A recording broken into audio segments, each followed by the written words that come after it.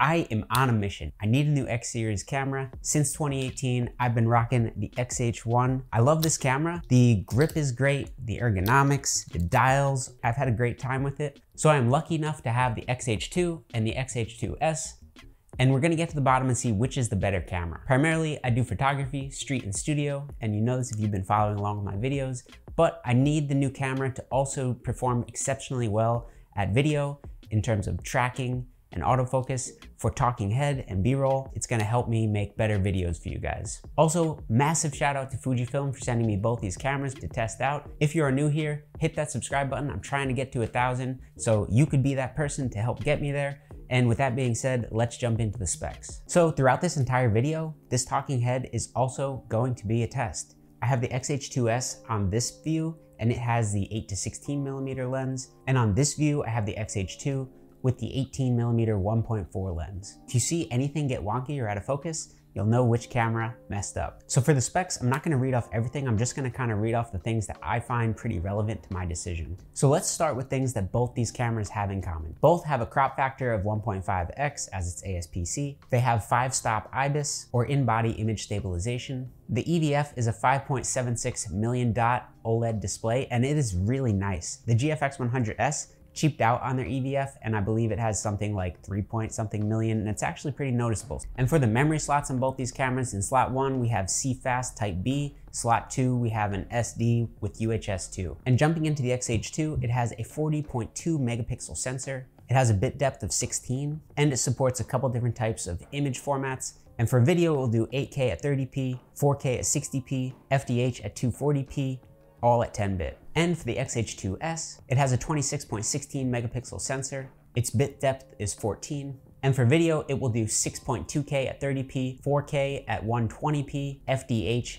at 240p, all at 10-bit. Starting with the sensor, the heart of the camera, both camera sensors are the same size, 23.5 by 15.6 millimeters. So the big question is, is if I go with the XH2, will I sacrifice the autofocus? Or do I play it safe and go with 26 megapixels on the XH2S? But I can tell you right now, I'm not gonna be super happy with the image quality on the XH2S because 26 megapixels is just simply not enough.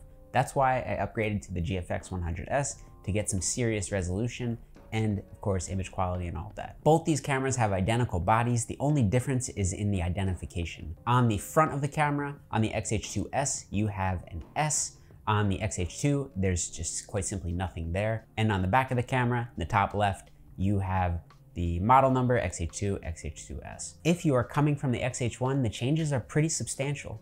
The coating on the camera bodies feel a bit more grippier. The XH2 has a similar rubber coating throughout the entire body, but it's kind of on the smoother side, whereas on these two bodies, the gripping is actually really grippy and it feels really sturdy in your hands like it will not slip. The new grip on the camera bodies feel a bit more ergonomic, and it definitely feels a little bit more comfortable in my hand. Also, throughout the entire camera, the buttons feel a bit more premium. They protrude out and bubble a bit more, and they feel a bit more springy when you press them. So let's go over each side. On the right side, we have the memory door. It has the same latch that was on the XH1, also the GFX, and of course has the two slots, the SD card and the CFast Type B. And on the top is a latch for the remote trigger. And on the left side, we have some pretty big changes here. Instead of one door opening with all your ports, there are dedicated doors for each port. So this makes it really easy to just open one door for one slot, such as the power or the HDMI, and all your other ports are not exposed to dust and all of that. It's pretty neat. On the top left, we have a full-size HDMI port. To the right, we have a dedicated microphone and headphone port, both full-size jack. And on the bottom, we have a USB Type-C for charging and data transfer. And this is an awesome upgrade coming from the XH1 being a USB Micro B. On the bottom of the camera, we have a quarter inch tripod mount. And of course, we have the battery door featuring an upgraded battery of the NP W235 this is really awesome. It's the latest battery that Fujifilm puts out, and basically all their cameras use this battery. It's really convenient having literally every camera using the same battery, even from ASPC to medium format. And on the other side, there is a connection port for a grip. And moving to the top, I've been testing the GFX 100S out since 2021, and I actually just bought my own body last August. So it doesn't come as a surprise to me that on these new XH cameras, they got rid of the dedicated dials for the ISO and the shutter. It's an unfortunate change, but I did see it coming. On the left side, we have a PSAM dial, just like the GFX 100S, and a top screen on the right I'm really thankful they kept this, but that's one of the signatures of the XH line. On the right side, they also added a bunch of buttons which are easy to access. They have one for white balance, ISO, a custom button, and of course, all of these can be customized if you hold down the back button. There's also this red button on the top, which I would probably only press if it were an emergency. It's a record button. If you're in video mode, you can press this instead of the shutter. But the coolest part about this button is that if you are in a photo mode,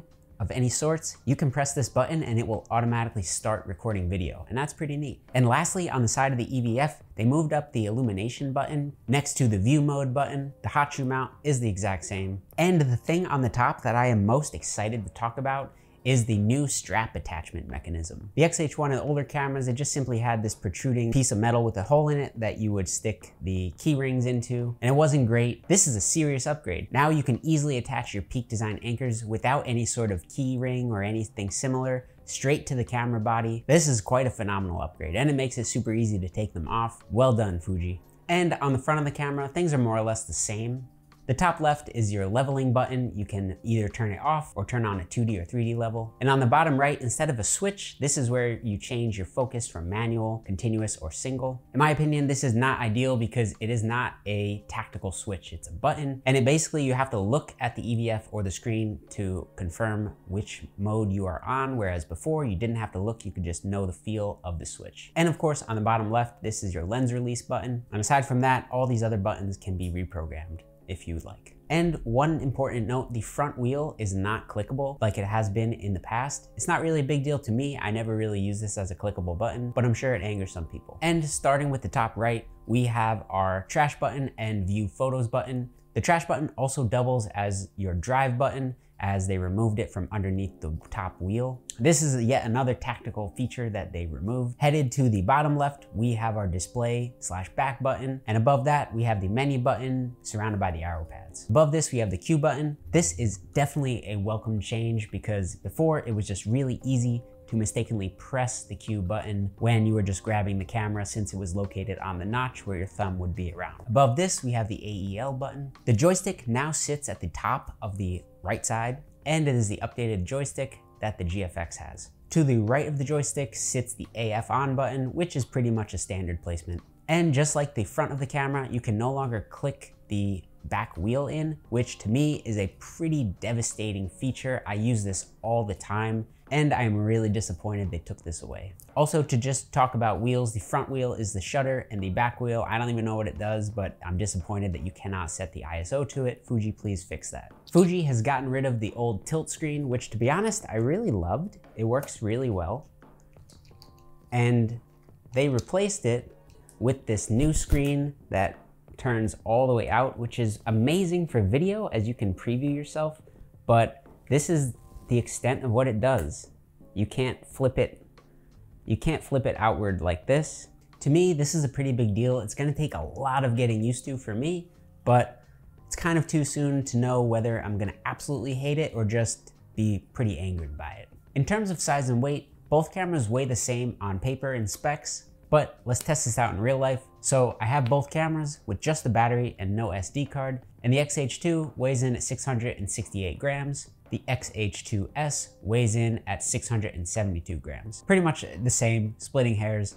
So these are pretty light. Again, I'm in GFX world, so to me, they're really light. The XH1 weighs in at 673 grams, so you're not really gonna notice any difference at all if you're coming from the XH1. Body size-wise, like we've said, the XH2 and XH2S are exactly the same. The difference between these new XH2 bodies and the XH1 is pretty negligible, just minor differences in the grip and buttons and all of that, but they're more or less the same. You're not really gonna notice a difference in size if you are upgrading. Let's talk about shutter sound. Both of these new cameras have really quiet shutters, as you would expect from the XH line. But what's really interesting is that both these cameras have different shutter sounds. Starting with the XH2S, let's listen to a single shot. And here's what a high burst at 15 frames per second sounds like.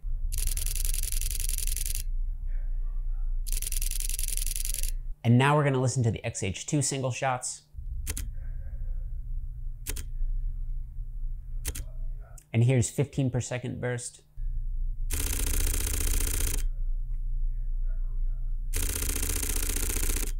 And just side by side, here's a single shot. And side by side, here's 15 frames per second. The XH2S does have a quieter shutter sound than the XH2, but we are kind of splitting hairs here. Both shutters are pretty quiet. And now, the hottest topic at hand, at least for me, the autofocus.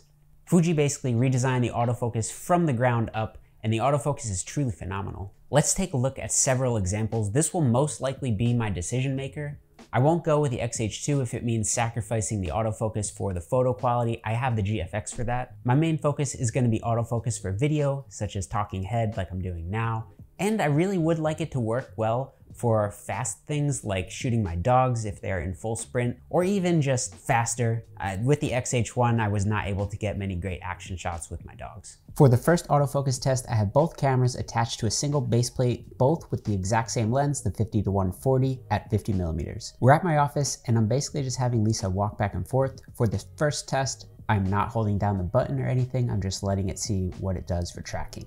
I have both set to wide tracking with eye detection. For the next test, I am holding down the button just to see what it does, and as you can see, both cameras are doing exceptionally well in tracking the eye, even as she moves back in space. The first test I had my shutter at 1 60th, this test I am at 1 500th of a second. I did forget to turn on the grid on the XH2, but that won't really affect anything on the test, so it's not a big deal.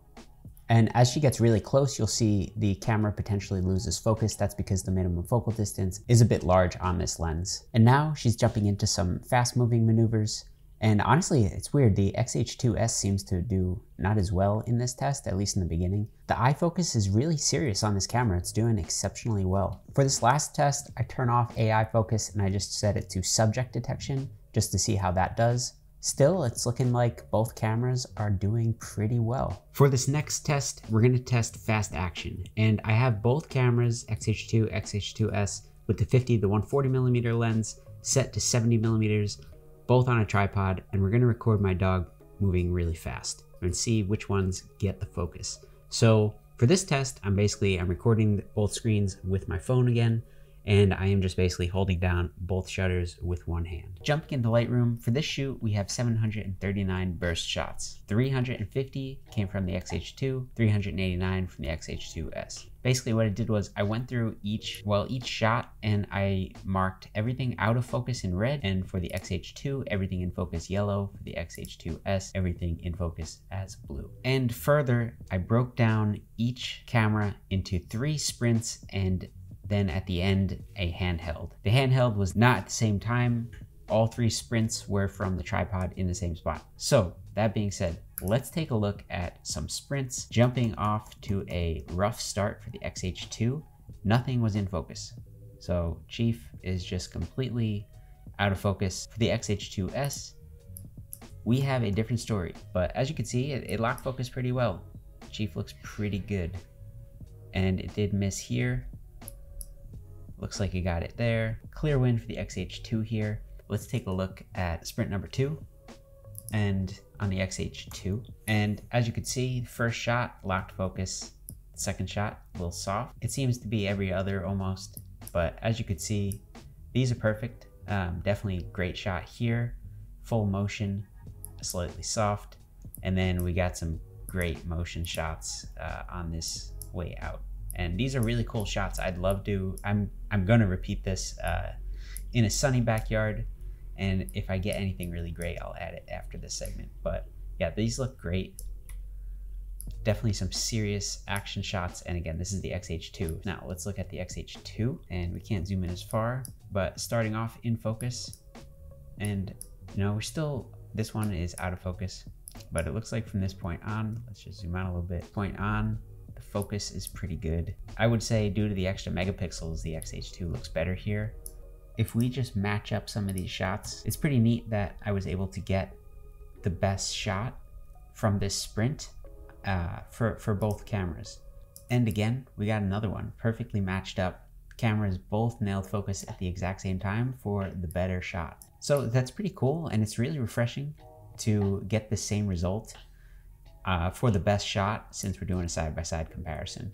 And again, just another shot that completely aligned, got both these in focus from the start of the sprint. So again, Really solid results on the second round. Let's take a look at round three. Round three did not do so well on the XH2, it looks like. Let's take a look at the XH3.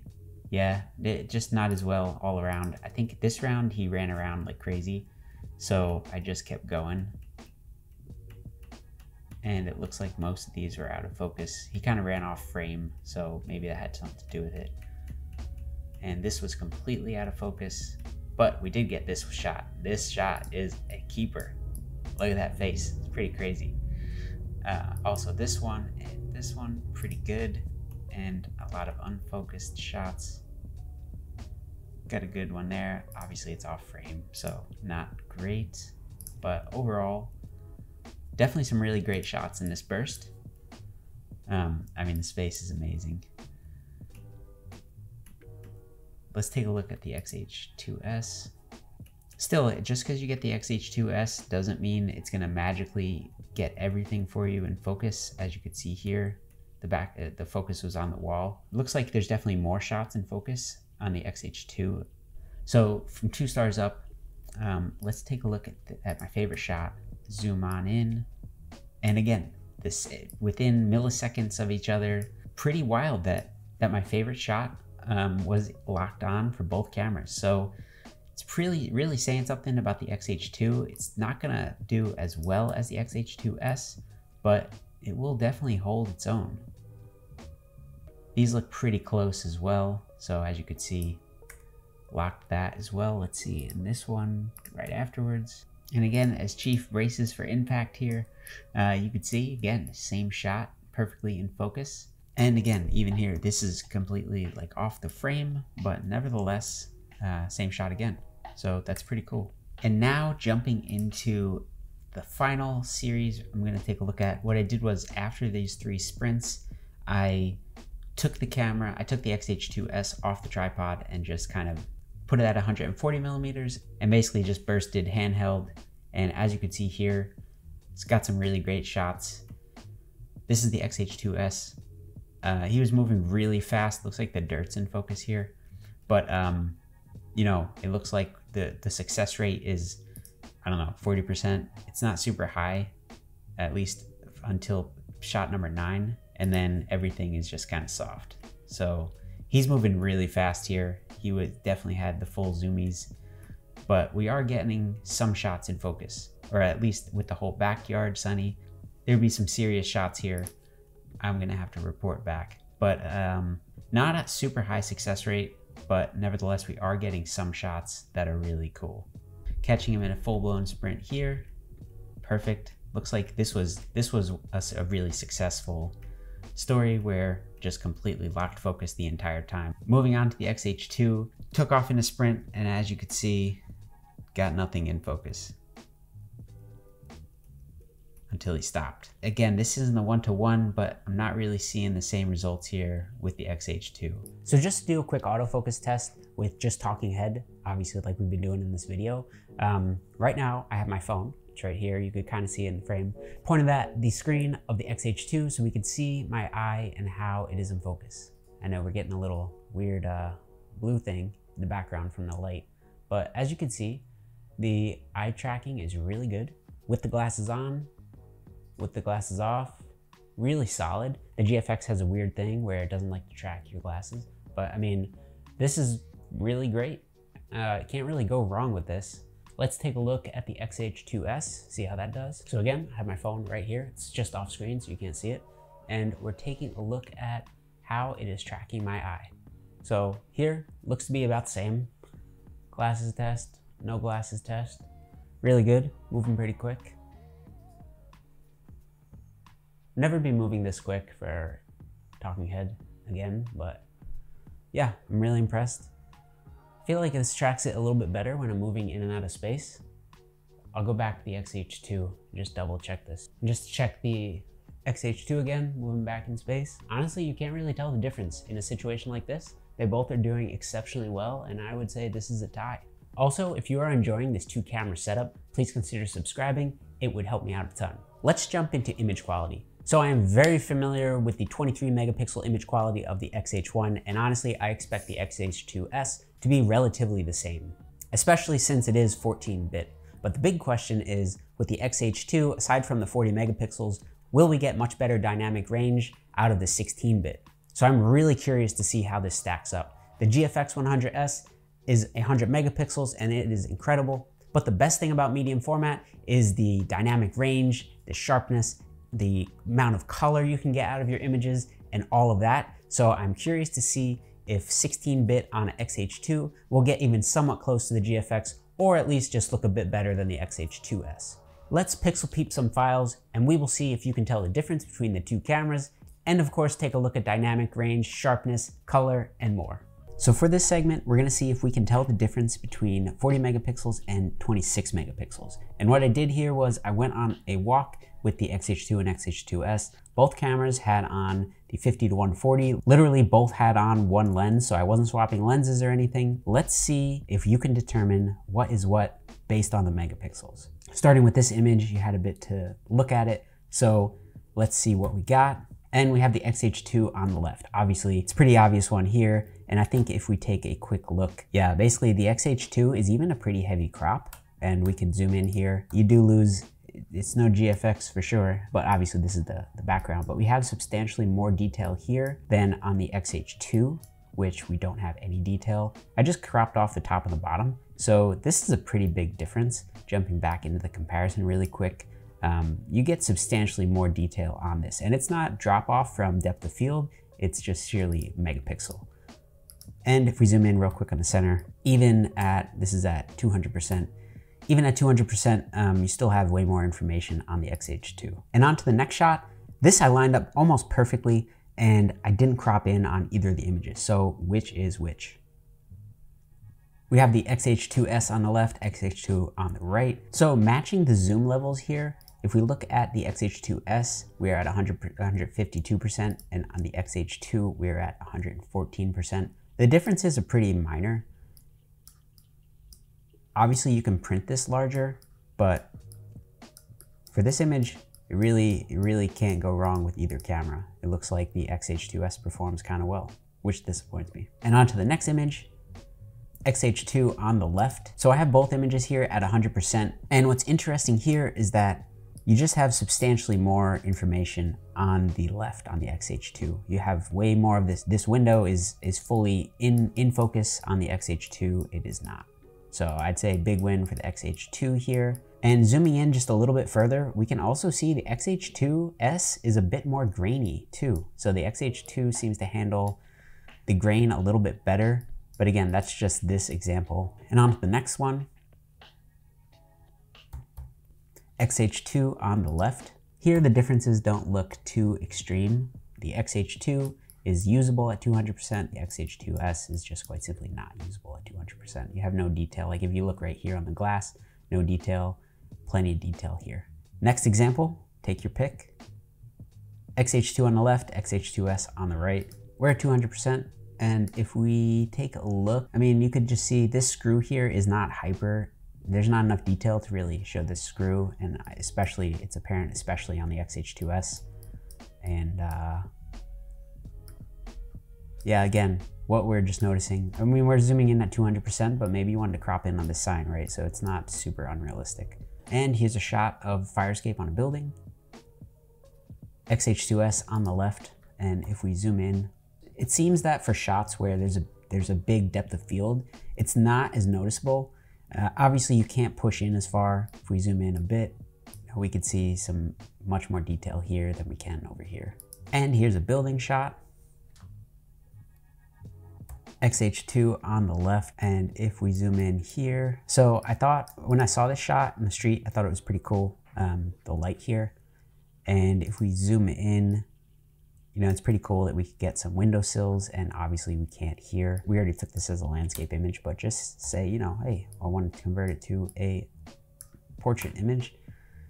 Um, this isn't my finest work, but you know, I think this is a cool composition and we still have some pretty detail, pretty heavy detail here. If we were to replicate it on this one, you know, it's clearly doesn't hold up as well. Like this is not really printable, how big you could print this shot. And here is our last shot XH2S on the left. We zoom in here, I set the focus point to the headlight. Focus looks the exact same. We're only at 100%. Yeah, the image on the, the image on the XH2 is just substantially stronger in my opinion. Even if you look at this like a little bit zoomed out, not even at 100%, you can just see the headlights super sharp. The air induction is super sharp. The XH1, this file, it just it just doesn't doesn't do it for me. I took a handful of handheld photos with the XH2 and XH2S, both using the 56mm 1.2 Mark II lens. I've already checked focus. Focus is the same in every photo. So what we're gonna do here is take a look at dynamic range and see if we can notice a difference between the two cameras. So what I did here is for each scene, I underexposed slightly and then I underexposed greatly. So for this scene, I focused on this light bulb. Let's take a look at something that looks pretty properly exposed. I think that looks pretty good. Yeah, these look to be the same. Let's see if we notice a difference in noise. Wow, the XH2 is a lot noisier. Now this is a thousand ISO, so that is a bit noisier, but yeah, that is substantially noisier on the XH2. Now it's more condensed pixels, so it's understandably so. If we can just potentially debunk this for a second. If we zoom in here and we match the zoom ratio, we can actually see the XH2S looks a bit more grainier. So the XH2 is very similar to the XH1. We have this worm noise going on. I wouldn't necessarily say the XH2 is more grainier. They're kind of like different grain. It looks like this is a slightly different pattern than the worm the worm grain. But overall, I would say dynamic range is pretty much the same. It looks like there's better color on the XH2. It is more saturated. This is more muted. And obviously we could bring this out in post. Let's take a look at the, the other version of this. Let's just bump this five exposure stops, zoom in. Obviously this is not pretty. Um, if you shoot like this, you shouldn't be. I, what I did here was I kept the shutter the same and I reduced the ISO by half. So we're at 500 ISO. And in taking a quick look here, um, we could see that there is more color in the XH2. In doing a quick comparison, and if we match the zoom levels, here the XH2 looks grainier. I'm, I'm gonna totally admit that. But again, it looks like the colors are a little bit rich here and a little bit muted here. And if we zoom out, I'm unsure if it's just the effect, like the sensor difference in color, or if it if this is just a bit more vibrant. Moving on to the next example, we have a street shot. I'll bring the highlights all the way down and the exposure up to like three and a half, roughly. With these matched, again, it looks like the colors are just a little bit more vibrant here. I don't know if I'm crazy. I'm not noticing a big difference. It looks like it's a little bit darker here, not as dark here. So here, I just basically blasted the exposure brought the highlights all the way down and the shadows all the way up. And if we do a quick comparison and zoom in, um, we are at 200%, so pretty heavy. Let's just do 100. It almost looks like there's a little bit more detail in the XH2. I think we're really, this is not a good looking image. The grain is obviously horrible on both. There's more detail in the XH2, so it doesn't look as bad.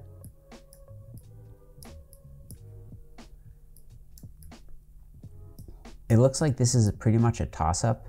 I don't really, I'm not really seeing any massive difference. Like on this side of the image, the XH2, there's more detail in the shadow. Over here, it's a bit darker. Looks like the shadows are a little bit lighter, so it looks like there's more information. So again, I have the same scene, but I basically drop the ISO to its base ISO before low.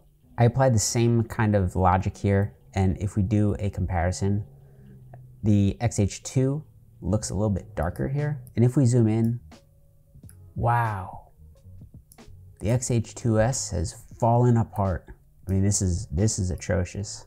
I think with some noise reduction, this is crazy, but I think with some noise reduction, the XH2 is, would be totally acceptable if it was, this was a really nice shot. Naturally, you, you don't want to do this. You want to properly expose. And yeah, you, you can see it's just completely falling apart over here just details just completely destroyed here and XH2 is holding it down. So the XH2 really shined here and I you, you could probably attribute this to the 16-bit. The last scene I have here is this clock tower and basically again shot at 1 50th of a second. This camera does really well handheld. We're shot wide open with the 56 so at f1.2 and 500 ISO. The bright segments of this clock tower look pretty similar. I'm not really seeing any differences. Much to my dismay, I was really hoping there would be a substantial difference here. In looking at these windows, again, I'm not really seeing a big difference in terms of dynamic range. Here it looks like there's a bit more of a flare, but you know, maybe something went on with the light. I'm not really seeing that much of a difference in this image, to be honest. I'm kind of disappointed. I was hoping that the dynamic range would give us better highlights on the XH2. And now repeating the same experiment, this time in reverse, I basically doubled the ISO. We should have a bit more information here. It looks like we're getting less detail in this, but I mean, that's just really, really, really slight. Otherwise, everything looks to be the same. Naturally, we have more, we're zoomed in more on the XH2. I'm not really seeing any difference in this image specifically. It kind of, kind of disappoints me a bit. If we zoom in back to this side, here's one small difference. It looks like there's a little bit more information on this side. This is more blown out over here. This is not. This looks to be about the same. I would say both cameras are pretty much on par. The XH2 will shine better in extreme circumstances, but nothing kind of glaring, especially if you're doing like night photography like this. I didn't really see anything that was too glaring, so I would kind of call this a draw. So what's the verdict? Well, I'm sending both these cameras back to Fuji tomorrow, and to be honest with you, I'm still a little undecided. The XH2 exceeded my expectations on the photo quality. It was really nice, and the autofocus was really awesome. I was definitely impressed by it. It performed way better than I thought it would. As for the XH2S, the photo quality was pretty much the same as I expected. I knew it would be pretty much the same as the XH1, so no surprises there, but the autofocus was definitely better than the XH2. I'll update you in a future video on what I end up going with and give you more definitive reasoning. If you haven't, please consider subscribing. It would help me out a ton as I'm trying to grow this channel. And in the meantime, check out one of these two videos over here. If you enjoyed this video, you'll definitely enjoy checking one of those out. And with that being said, I'll catch you in the next one.